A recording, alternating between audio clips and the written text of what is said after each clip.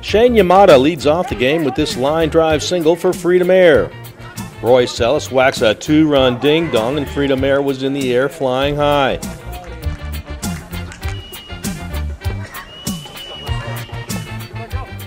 Bottom of the first, Julian Camacho ties the game with a two run blast that was so deep Jonathan Tenorio had trouble seeing it.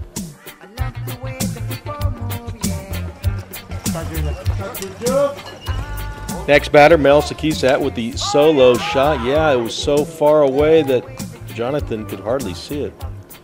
And then with one on, Joey Delacruz deposits that pitch on the other side of the fence. DCCA led 5 to 2 after the first inning. They could have had more, but Shane Yamada robbed Jonathan of extra bases with that nice catch. Bottom of the second, Julian Camacho socks a two run ding dong that curves around the foul pole. Blue says it was fair when it went over the fence. A brief, unsuccessful argument followed.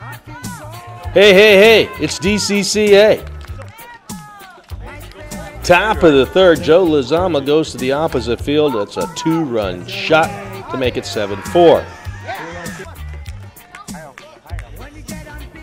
The inning ended on a life saving catch by Mel Sakisat. That broke his already broken glove. Bottom of the third, Joey leads off with a solo shot to left field.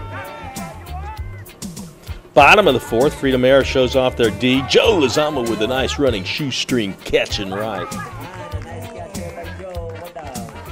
James Fleming lines into a 4 3 twin killing, two for the price of one. Roy Sellis follows with a blast to right field over and out. That's out of right center. Mario going back. We'll run home run for Roy. When Joe Lizama made a deposit on the other side of the fence, the game was knotted at eight. Oh,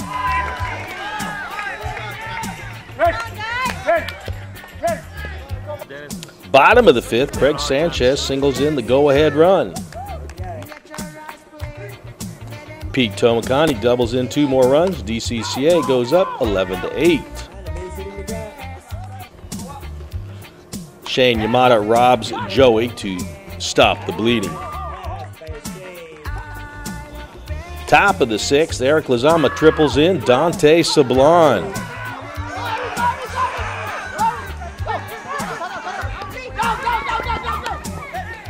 Shane lifts a fly to deep right center. Mario drops the ball. Oh, Mario, why you do that? And Roy Sellis follows with a blast, and Shane comes around.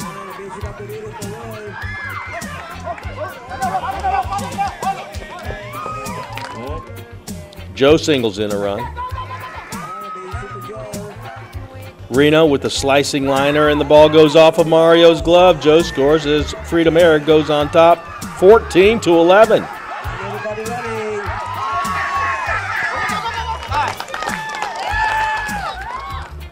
Bottom of the seventh, one out, last chance for DCCA. Sanchez with the clutch hit.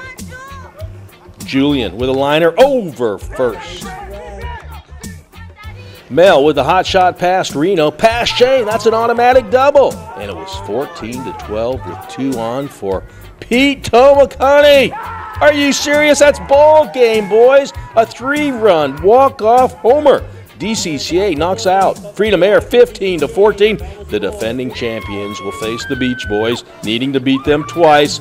Earlier in the playoffs, remember the Beach Boys handed DCCA their only loss in two years.